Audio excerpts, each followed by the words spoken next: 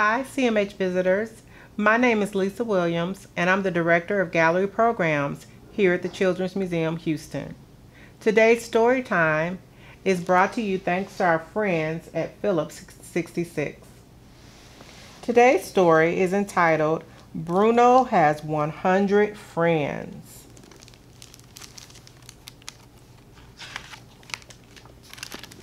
Bruno Has 100 Friends by Francesca Pirrone.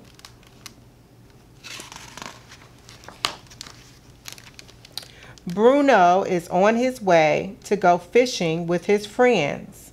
When on the road, he finds a strange object. What is that? Curious, he picks it up. As soon as he's got it in his hand, it flashes bright.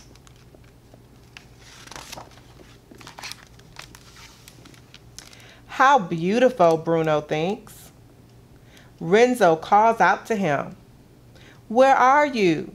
We are waiting for you. Go ahead. I'll catch up to you, Bruno answers. He lies down and starts inspecting the strange box.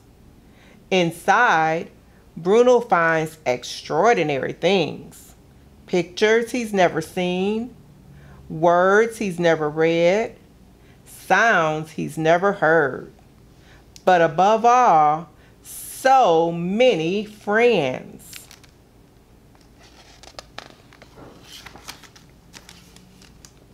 Renzo and Rico come back to see what Bruno is up to.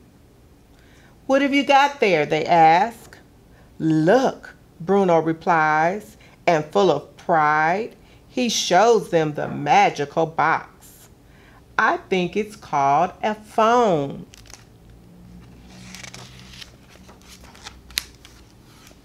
What's it for? The other bears ask. It's for making lots of friends, Bruno answers. But we're your friends, Renzo and Rico exclaim. Yes, but there's only two of you. Now I've got at least 100 friends all over the world.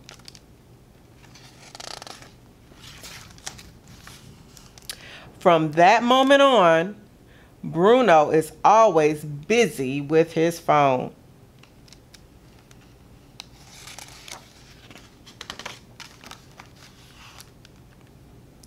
From early in the morning till late in the evening, he's chatting, watching movies, or listening to music.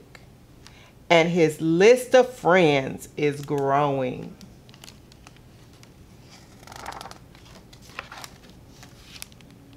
Renzo and Rico are worried. They want to have their old friend back. So they invited him to go and collect honey together and to have a picnic in the forest. They've packed all of Bruno's favorite snacks, but it's all in vain.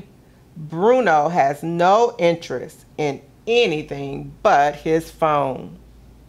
He is too busy for anyone else.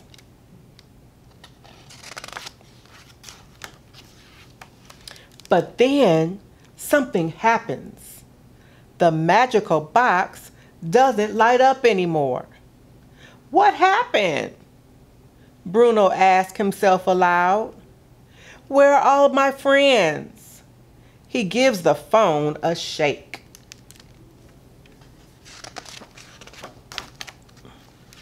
Bruno is worried. He runs outside and holds the phone high above his head, turning it this way and that. I bet you he's trying to see how many bars he has. He runs until he comes upon Renzo and Rico. What are you doing? They ask.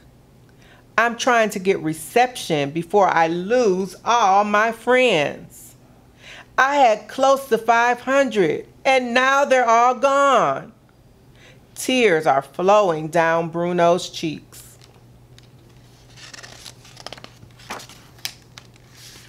Renzo and Rico gather up Bruno in a big hug.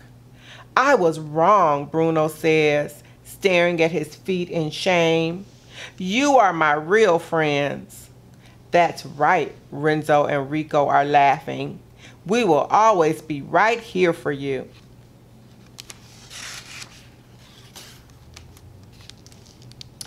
And now, let's go and have some fun, Rico says. Yes, Bruno exclaims. Who needs 100 virtual friends when I have the two of you? And that's the end. I know that so many of you right now are using all of your technology to deal with what we're dealing with in this world, but spend some time with your family and your loved ones. Do some things that you wouldn't normally do. Play some board games, watch your favorite movie. It's important that we show each other how much we love each other because that's one way that helps us to deal with our stress. Thank you for tuning in. See you next time.